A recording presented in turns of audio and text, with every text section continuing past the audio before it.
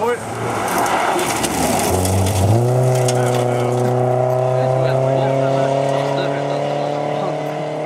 Ja, han är inköpare på oss också.